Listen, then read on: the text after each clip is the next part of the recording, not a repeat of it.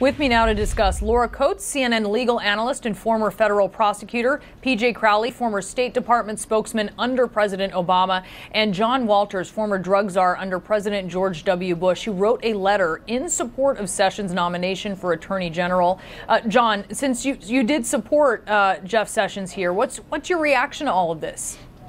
Uh, Jeff Sessions is one of the most honest and one man of the greatest integrity I've ever worked with in Washington, and uh, to suggest that he's lying. I mean, look, it, look, at the beginning of the Obama administration. But what do you think pu- happened then? Pushed, what, do, what do you think happened well, then when he testified I think there's, there's and also a kind put of, in writing? There's a, there's a kind of hysteria. At the beginning of Obama, they were pushed to reset on Russia and try to have better relations. No, but the, I'm talking cra- about from the, his the, no no from crazy, his perspective. Uh, he, I mean, well, he I did something, he, right? He's he if testified. If you read the something. transcript, you've shown it.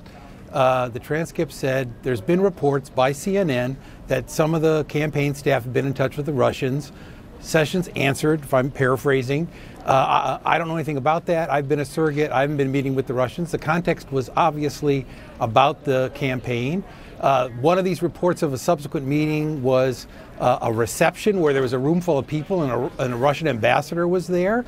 Um, and the other is uh, something that's been explained in terms of his responsibilities as a senator. So, I mean, there's a kind of hysterical theory that Trump is selling us out to the Russians, just as there was on the on the right, Obama was selling us out to the Russians. It's it's kind of the lunatic fringe that seems to have become uh, uh, uh populated by people who should know better.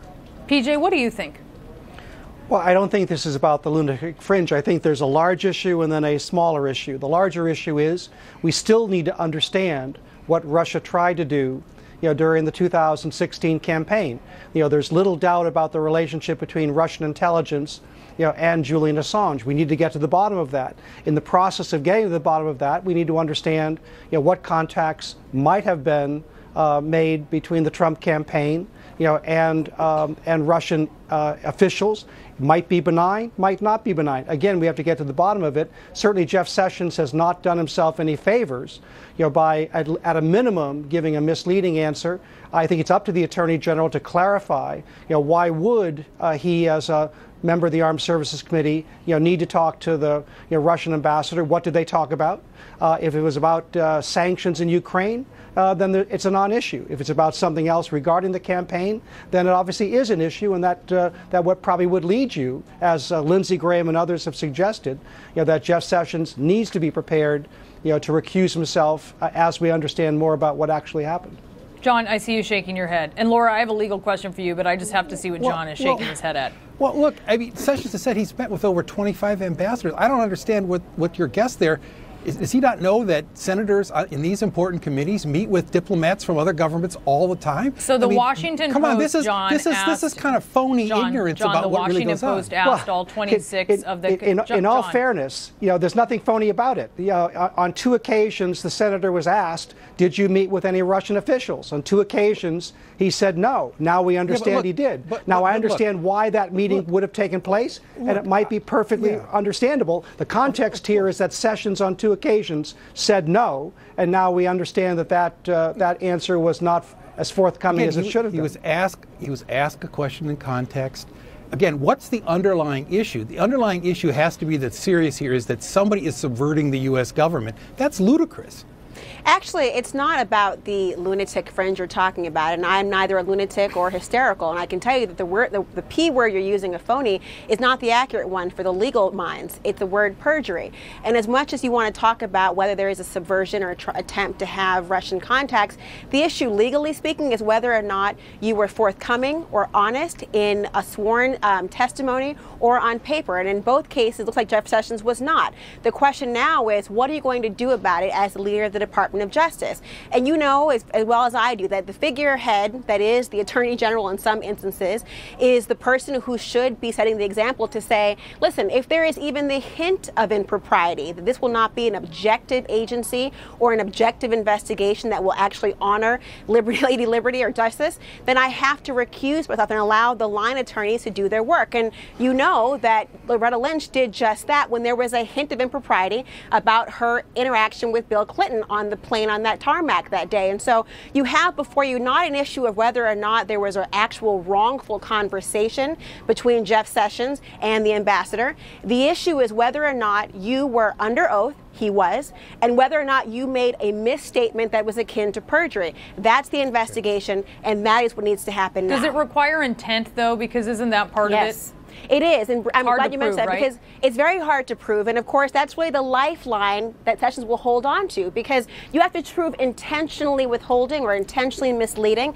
and this is why everyone hates lawyers. We parse words and battle over semantics, and this is no different. It's very hard to be able to figure out whether somebody was intentionally nefarious in the withholding or the inaccurate statement, or whether or not it was simply a issue of amnesia, as he'd like to say. So that's the battle we're having right now, but it's not about the greater issue of Russian interference. The issue at this time, the issue is whether or not the leader of the Department of Justice was honest under oath, a requirement we have for every defendant and witness in every courtroom and in every hearing.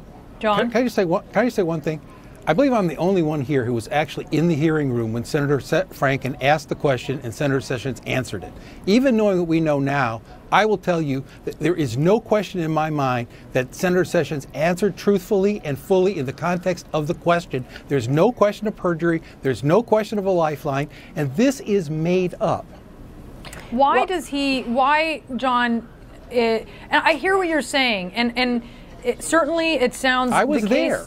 The, but the case uh, that his office is making, and obviously this is you know this is how Senator or former Senator Sessions feels, is that he was sort of thinking just with his campaign surrogate hat on, and as a campaign surrogate, he felt that he hadn't done anything wrong, and yet clearly the Russian ambassador would have wanted to meet with him because of his ties to Donald Trump. It's it's difficult to believe that that wasn't part of the meeting.